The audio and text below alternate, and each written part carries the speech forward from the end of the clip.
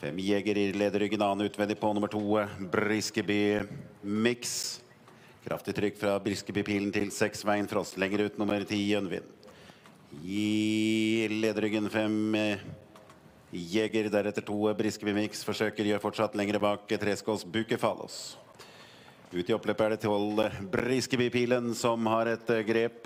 Jønvin kommer utenfra, gjør et forsøk på å utfordre, men det er tolv Briskeby-pilen fortsatt der framme. Ti Jønvin prøver å ta opp jakten, men det er tolv Briskeby-pilen fortsatt der framme. Vinner direkte for Oppheim, nummer tolv Briskeby-pilen og Åsbjørn Tengsareid foran ti Jønvin, jevner om neste.